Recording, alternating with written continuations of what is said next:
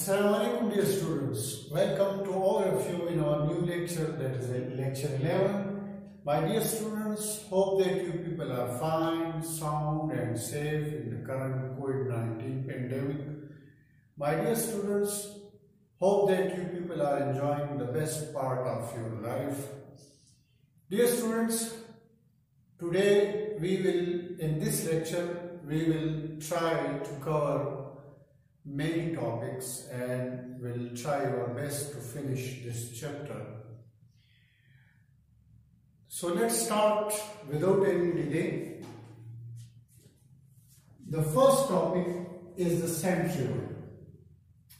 The centriole is composed of microtubules. Now what are microtubules? Microtubules are the tubular structures made of a protein called tubulin. Tubulin. These are the long cylindrical shapes. If each centriole consists of two, the two centrioles are present and this the, when the centrioles always occur, the pair of centrioles is called centrosome. It is very important to keep in mind that pair of centrioles is called centrosome and they are present in, a, in an area making which is called centrosphere. So centrosphere actually represents centrosome. If we want to study its internal structure, my dear students, they have nine triplets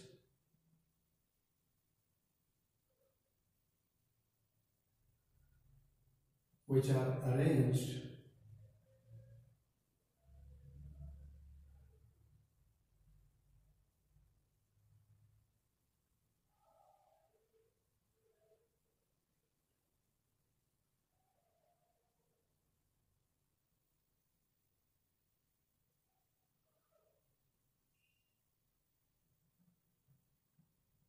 write it off this man and then it will be easy.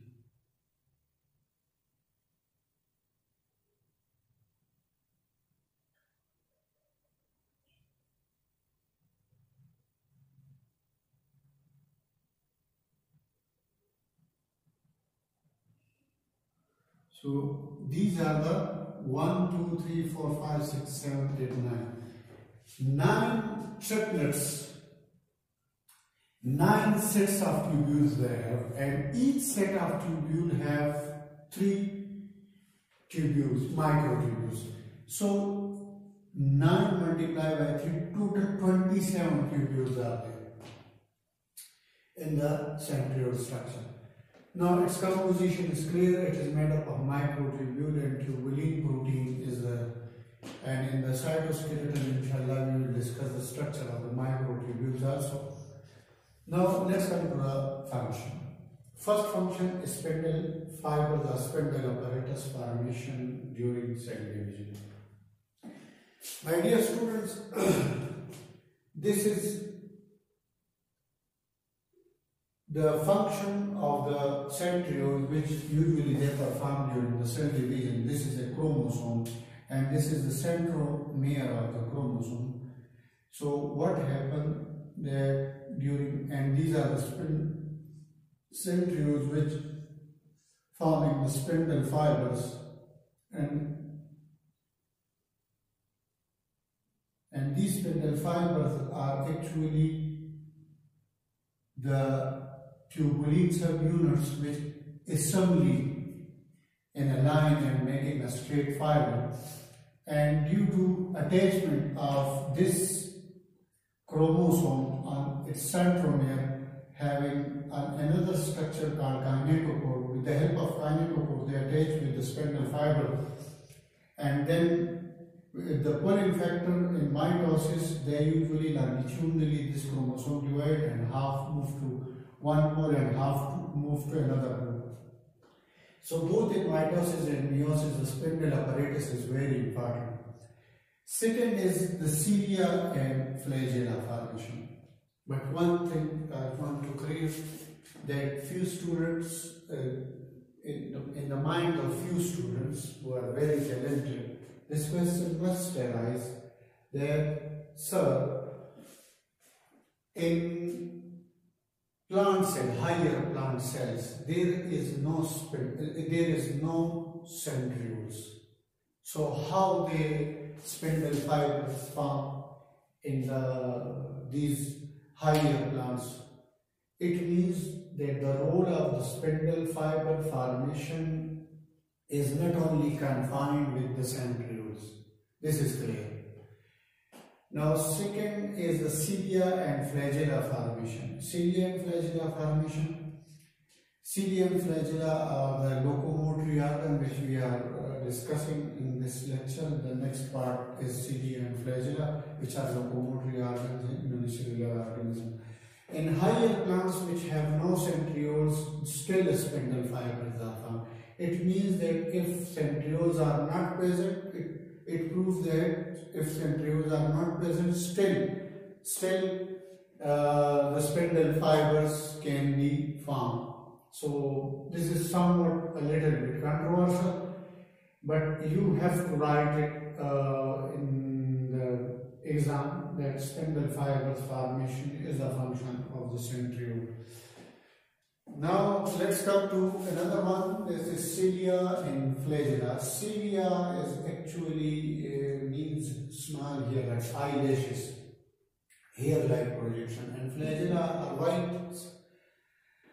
And they both are locomotory organs in unicellular organism about the cilia, I will say, cilia are present in the respiratory system also and they help to prevent, uh, to block the dust particles uh, to get into the respiratory system. But it is also a locomotory organ. Locomotory organ, it helps in the locomotion. If we study the structure of the some unicellular organism like paramecium caudatum we have on the body of paramecium caudatum, there are many minute-like structures present, and these minute structures are called cilia. And flagella is also locomotory organ, like uh, this is chlamydomonas, and they have two flagella and by these uh, flagella they usually move. The difference, uh, internal structure of both flagella and cilia is the same. But the main difference is the flagella are few in number and they are always larger in size and cilia are minute and they are abundant in number. If we come to its internal structure, this is a long tube which have a basal body the internal structure of the basal body consists of the microtubules. The 9 plus 1 arrangement is here. 9 plus 1, what does it mean? There are 3 3 tubules at the periphery and 1 tubule at the center. This is the structure of the basal body. Now, if we talk about the rest of the structure, so it's the long cylinder of microtubule which is called as axonema. This axoneme or axonema consists of a series of tubules which are doublets. These doublets are nine. These are triplets in the basal body and these are doublets, nine doublets which are paired and present at the periphery and two tubules which are unfused. These are unfused central tubule. That's why this arrangement is also called 9 plus 2 arrangement. This is 9 plus 1, this is 9 plus 2. 9 plus 2 means 9 doublets at the periphery and 2 unpaired tubules at the center. And these unpaired tubules are also surrounded by a membrane or sheath and this is the whole structure if we this is a cross section this is a cross section we got and this long cylinder is called axoneme now this doublet this microtubule doublet having uh, two types of tubule. One is external, one is internal. One is incomplete tubule and one is complete tubule. Oh, and there are some proteins which are present here called dynein. This is their doublet, okay? This is their doublet. This is another doublet. They are close to one another. So what happens that when energy is given, these dynein bend. These dynein bend. Right? And which allow them to move. If we talk about the movement mechanism, so the dynein proteins bend these tubules and contract and relax.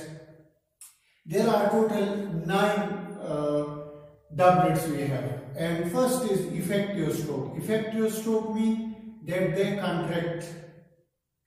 When they contract, then after that these four tubules bring them to recovery. Recovery stroke means they move to the opposite pole. So contraction effective stroke, recovery stroke, effective stroke, recovery stroke, effect.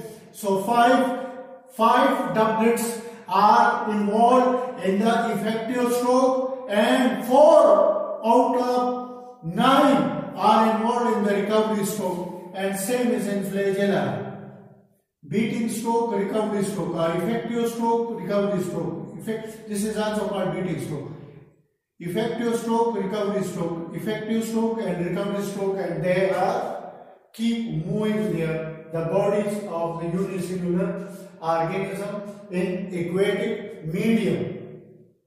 So my dear students, it was all about centrioles, cilia and flagella. Now let's start the microtubule and uh, cytoskeleton in which we will study microtubule, microfilament and intermediate filament and their structures.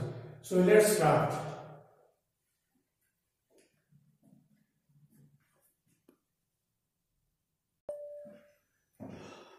Dear students, the next we have the cytoskeleton. The cytoskeleton is a combination of two words. Cyto means cell and skeleton in the frame. So this is a set of fiber structures distributed in the cytoplasm. This is the nucleus, this is cell membrane and this is the cytoplasm in which they are scattered. Usually they are three types. Microfilaments, microtubules and intermediate filaments. First, microfilaments. These are the actin filaments Actin is a protein and these actin subunits consist of globular structure called G-actin which are helical in manner and they twist around F-actin or fibrous actin. Along with that we have this blue color if you, you can see this blue color is another type of protein called tropomyosin. Upon the tropomyosin, uh, upon the actin subunits, there is another triplet type of structures present, 3-3 subunits that are called troponin. The size is 7 nanometer in diameter. They are present just below the plasma membrane and its function is that they have the ability of contraction and relaxation so cyclosis, which is the movement of cytoplasm as streaming movement we discussed uh, earlier, that cyclosis is a movement in which cytoplasm moves around the nucleus. This cyclosis is brought about by the contraction and relaxation of microfilament. Along with that, in muscle cells also actin filaments are present and, and, and there they are called myofibrils because in, in muscles, myosin, another type of protein filaments associated with the actin which make our muscular structures. So they have great uh, ability of contraction and relaxation which is important and this contraction and relaxation move in the cytoplasm constantly. It's like a motor. Second one is the microtubules. These are tubulin subunits and two subunits are present. One is called alpha and beta. Tubulin is a protein and its diameter is 25 nanometer means more than the uh, microfilaments. If you see these red are the alpha and blue are the beta. They are arranged in such a way that alpha, beta, alpha, beta and their function is cilia and flagella are made up, of microtubule earlier we discussed centrosome centriole structure is also uh, made up of the microtubules spindle apparatus microtubules subunits I told you. So very important function it also have. The next one is intermediate filament. The intermediate filament consists of the three helical uh, chains and these helical chains are made up of another protein which is called vimentin and the size is 8 to 10 nanometer means more than microfilament and less than microtubule. And their main function, uh, they are scattered and making a network in such a way that it provides mechanical support to the cell. So it's all about the cytoskeleton uh, my dear students, our next uh, topic is nucleus. Uh, so let's start the nucleus after which we will discuss the difference between prokaryotic and eukaryotic cell and then bacterial cell. We will discuss inshallah. So stay with us in this lecture.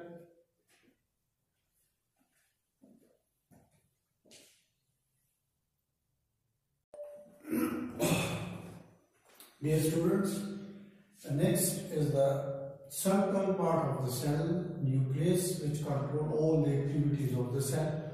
Usually it is composed of protein, lipids, and DNA. Their structure, nuclear membrane, nucleoplasm, chrom chromosomes, and nucleolus. One by one we will discuss. First of all, I am coming towards the nuclear membrane. So the nuclear membrane is also a lipoprotein in nature, but the main difference between the plasma membrane and the nuclear membrane is that the nuclear membrane is double membrane and the plasma membrane is single membrane. Along with that, they have pores. The second difference is they have pores where nucleoprotein or nucleopore complex is present where different materials can get out and inside the cell, especially messenger RNA movement.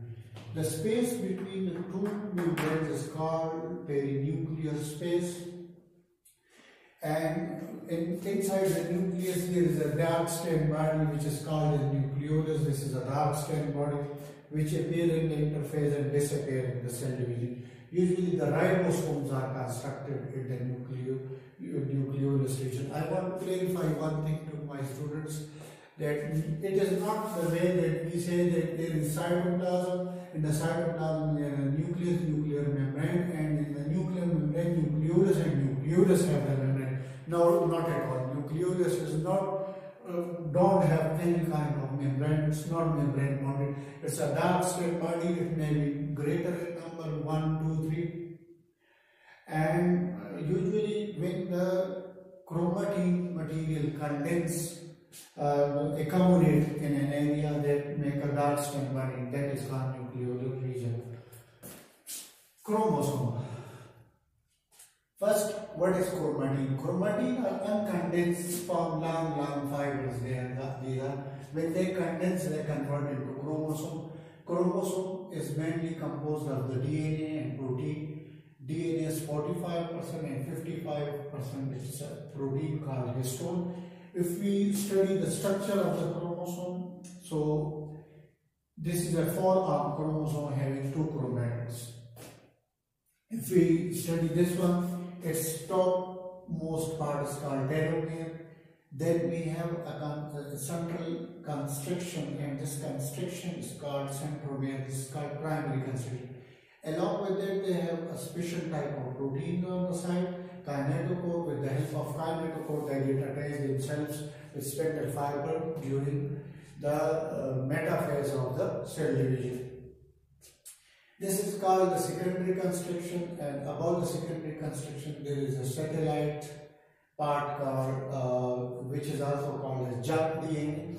Here the DNA, why this is called junk DNA? Because they have no functional gene here.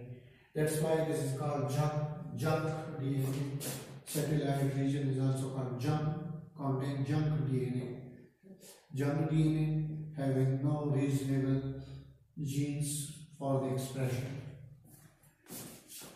This is called secondary construction and two more regions. One is a dark stain, hetero chromatin and one is light stain or loosely packed called euchromatin. The most functional genes are present in the euchromatin. It is present in euchromatin. My students, telomere have a great role in aging. How? Just like you have a pencil, you you have a sharpener and you sharp your pencil and the pencil length decrease with passage of time.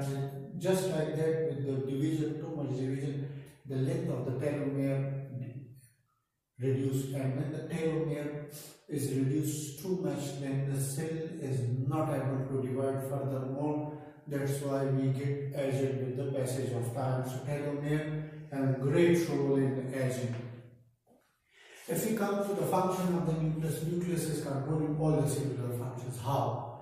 It has chromosomes and chromosomes have DNA and DNA has genes and genes making messenger RNA, messenger RNA having the information which goes outside in the cytoplasm and, and you know, the ribosome it's making the protein and these proteins are enzymes and these enzymes are performing particular so in that way, nucleus is the commander which is controlling all the cellular activities. So it's just, it is the control center of all cellular activities.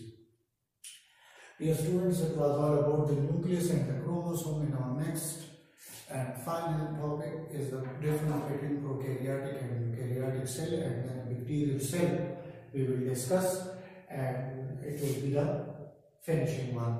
So please stay with me.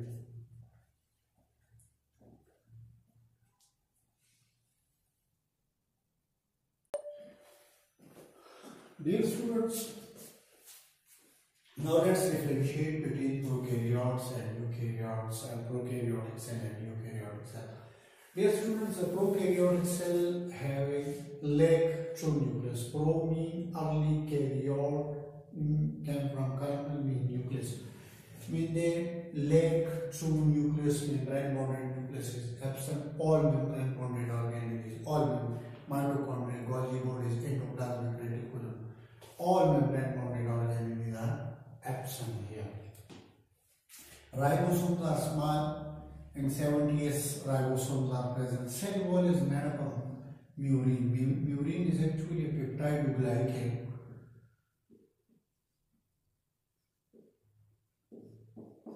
And no meiosis and mitosis mean no proper cell division is present.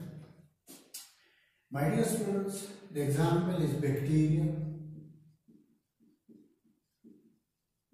cyanobacteria, Archaea,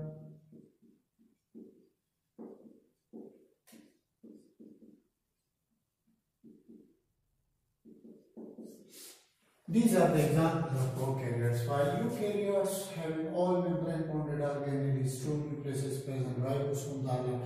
Cell wall is made up of cellulose or chitin. Chitin may be uh, present in fungi only meiosis, mitosis is present in normal cells are uh, the examples.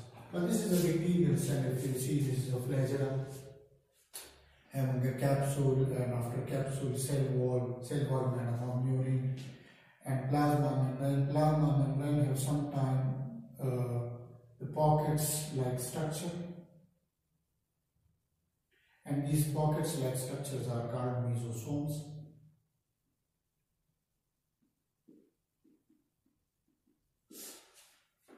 The outside we have thread-like proteins called pili, which is made up of pili protein and which help them in the conjugation process.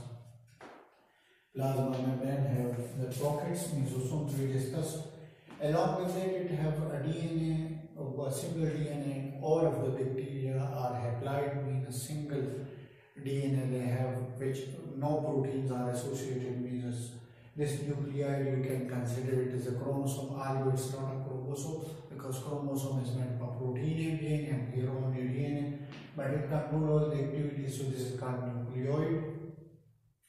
Another uh, additional circle, uh, circular pieces of DNA we have, which is called plasmid, which play a vital role in the. Uh, we use them for the genetic engineering, and they have some antibiotic resistance genes which protect them from the effect of antibiotic. Along with the different inclusions are present like proteins, carbohydrates, lipids.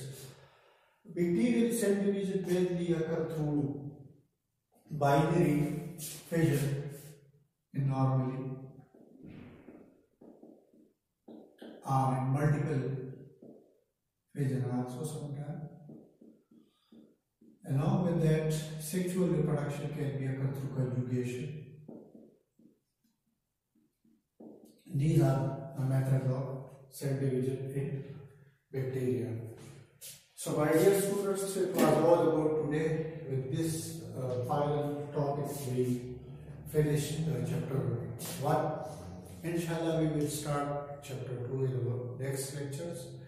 Hope that you people uh, got good understanding of uh, today what we uh, discussed, explained. Um, if still if you have any problem you can ask me. Thank you so much. Stay in home, stay blessed. Allah Hafiz.